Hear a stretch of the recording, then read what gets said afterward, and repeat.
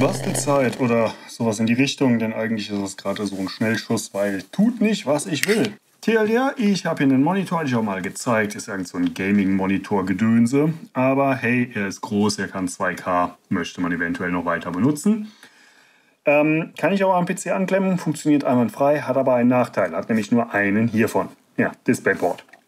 Eigentlich auch genau das, was man haben möchte, aber äh, leider halt nur einen. Das heißt, ich kann in den Rechner reinstecken. Wenn ich aber mit dem Laptop hier arbeiten möchte, muss ich den erstmal aus dem Rechner hinten irgendwie rauspopeln, anderes Kabel dran stecken, weil mein äh, Laptop hat auch Mini-Display-Port als Ausgang. Und äh, ja, ist nervig. Meine Idee war jetzt, komm, wir kaufen mal gerade bei der letzten Bestellung was mit. Und geworden ist es das Ding hier. Das ist ein ne, Trommelwirbel-Umschalter.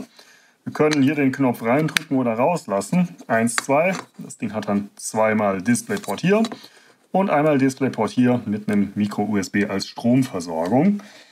Ähm, ja, gut. Idee war, okay, können wir dann ja benutzen. Stand auch, glaube ich, im Produktdatenblatt. Ich gucke gleich nochmal nach, dass man es benutzen könnte. Also mal Micro-USB hier rein und äh, ja, nix. Okay, nix ist ein bisschen wenig. Also holen wir mal unseren Monitor, stecken den hier an den Ausgang, nehmen mal ein Kabel mit DisplayPort, was zum Rechner geht, stecken das hier an den Eingang und ja, egal was ich drücke, hier drauf ist nichts an Aktivität zu sehen und mein Monitor meint die ganze Zeit, ja, pff, da ist doch nichts. Was soll denn das? Nun ja, ich habe dann mal was anderes probiert und zwar habe ich mal spaßeshalber die umgedreht. Machen wir mal hier einen Rechner hin. So, Rechner hier hinten dran. Oh, guckt mal. Die 1 leuchtet. Jetzt leuchtet die 2. Hm. Und ich glaube, ich muss nicht weiter erklären, was passiert, wenn ich jetzt hier einstecke. Tada! Äh, ich weiß, man kann es jetzt nicht sehen, aber eventuell sieht man, dass sich die Helligkeit ändert. Der Monitor klappt. Und wenn ich jetzt auf 2 umstelle, klappt der Monitor nicht mehr. Das heißt also, ja, zwischen dem, mit dem hier kann ich zwischen zwei Monitoren umschalten aber nicht, wie ich wollte, zwischen zwei Rechnern. Hm. Das ist ungünstig. Ähm, ich gucke gerade noch mal. Ich glaube, hier habe ich eh keine Möglichkeit mehr, das Ding zurückzugeben. War nicht so teuer. In Zweifelsfall zerlegen wir mal. Mit Glück haben wir ja irgendwie eine Möglichkeit, da drin was zu sehen. Okay, und ich habe mir gerade noch mal die Beschreibung durchgesucht. Das ist so schönes Denglich. Blablabla. DP-Schalter kann DP-Signale mehreren Gruppen mit Hilfe von hochauflösenden Anzeigegerät wie HDTV umschalten. Manuelle Umschalttaste. Vermeiden Sie häufiges Ein-Ausstecken von Kabeln, kann bla bla bla bla bla.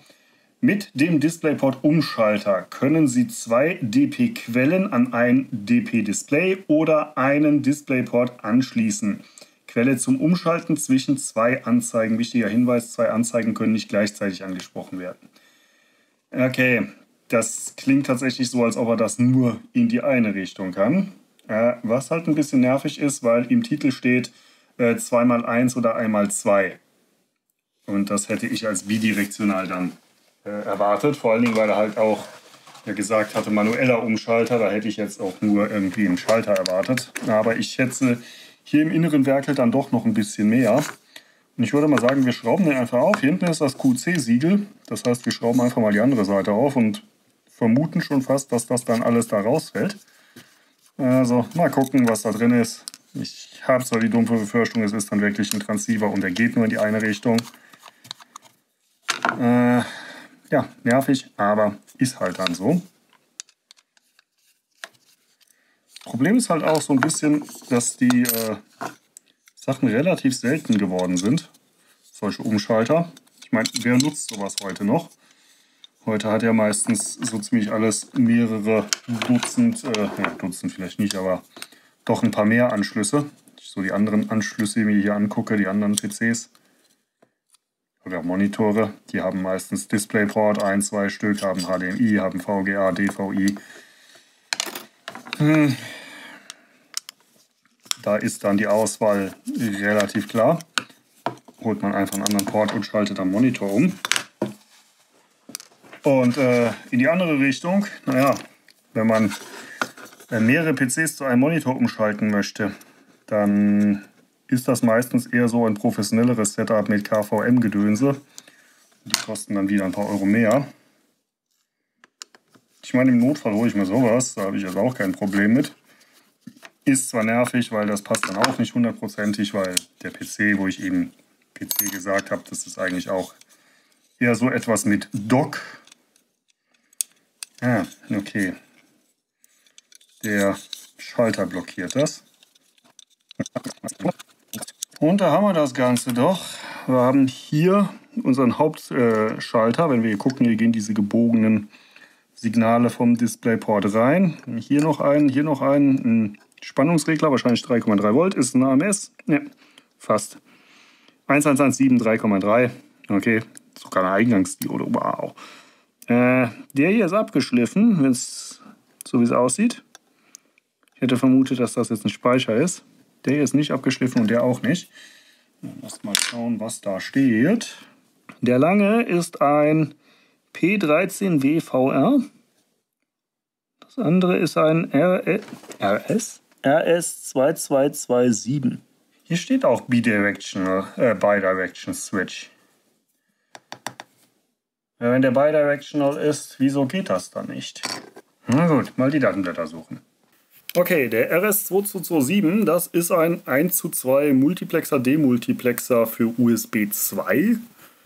Äh, macht in dem Sinne jetzt erstmal keinen großen Sinn, würde ich sagen. Es sei denn, man nutzt den, um zum Beispiel I2C oder so umzuschalten und missbraucht den quasi.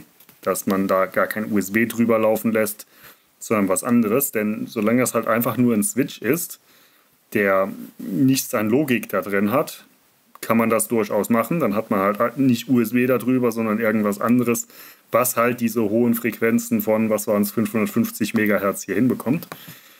Ähm, der zweite, das dürfte das hier sein, Paracom, heute Dials Incorporated, PI3WVR 12412 ist ein HDMI 2 oder DisplayPort 1.2 Video Switch, klingt ganz gut. Und das hier ist 4 Lane 1 zu 2 MUX DMUX. Da, da, da, da. Macht auch DDC und HDP-Signale. Das heißt also, dieses iSquaresy, was ich angesprochen habe, macht er eigentlich intern schon. Okay. Die Frage ist, ist es eine Richtung oder beide Richtungen? Und so wie das für mich aussieht, ist das wurscht, weil hier ist keine Logik dazwischen im Blockdiagramm.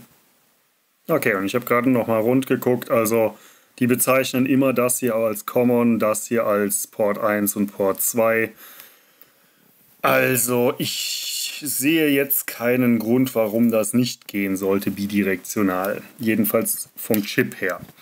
Ich habe da aber noch eine andere Idee. Und zwar wegen dem, was wir gesehen haben. Ähm, wenn wir gerade nochmal hierhin zurückgehen, hier so war ja nichts. Ne? Und wenn ich, was ist das hier? Das ist, glaube ich, der Monitor. Wenn ich den Monitor hinten dran stecke, passiert ja nichts. Wenn ich aber den PC dran stecke, der hier, dann geht hier die Lampe an. Preisfrage, hat das Ding überhaupt Strom? Nur mal so, zur Frage. Ich hatte ja hier diesen Micro-USB geholt und eingesteckt. Theoretisch hätte der Strom geben sollen. Die Frage ist, wieso geht dann keine Lampe an? Jetzt kann es natürlich sein, blöde Frage. Den habe ich im Monitor stecken. Der Monitor gibt bestimmt nur Strom aus, wenn er ein Signal hat, oder? Lasst mal gerade das hier irgendwie so ein bisschen anders balancieren und mal an einer anderen Stelle was Strom stibitzen. Wie sieht das aus, wenn ich hier einstecke? Ja? Ah, okay. So geht's. Dann lasst das noch mal probieren. Das hier war der Monitor, den hätte ich gerne hier dran. Das hier war der PC, den hätte ich dann gerne mal hier dran. Geht jetzt Signal durch. Ja, es funktioniert. Gut, also haken wir das Ganze mal ab unter Anwender einfach zu dumm. Und äh, ja, ignorieren das Ganze. Problem für mich war halt, es hatte auch mit, einem, äh, mit einer Powerbank nicht funktioniert vermute aber einfach, dass das dann wieder ein Signalproblem war, denn der Monitor ist sehr wählerisch, was er überhaupt annimmt. Das wundert mich jetzt ehrlich gesagt, dass er hier so überhaupt funktioniert. Und ja, vielleicht habe ich beim Testen da einfach ein anderes USB, äh, DisplayPort-Kabel erwischt. Deswegen ging es nicht. Whatever. Deckel drauf. Funktioniert. Und äh, dann kann ich jetzt auch endlich finali hier zwischen Laptop und PC umschalten. Muss nicht jedes Mal alles umklemmen. Das macht auf jeden Fall die ganze Sache deutlich einfacher. Und auch wenn das dann jetzt eine sehr kurze Sache war, immerhin weiß ich jetzt, was hier drin steckt, wie sie das gemacht haben. Einfach einen fertigen Chip geholt mit äh, ja, Stromversorgung entweder, wenn etwas 5 Volt hier liefert, zum Beispiel der PC, der Monitor macht es halt nicht, oder halt hier über einen entsprechenden Spannungsregler dann noch. Erklärt dann auch, wieso die Diode da ist. Wie auch immer, das Ding hier tut, was es soll.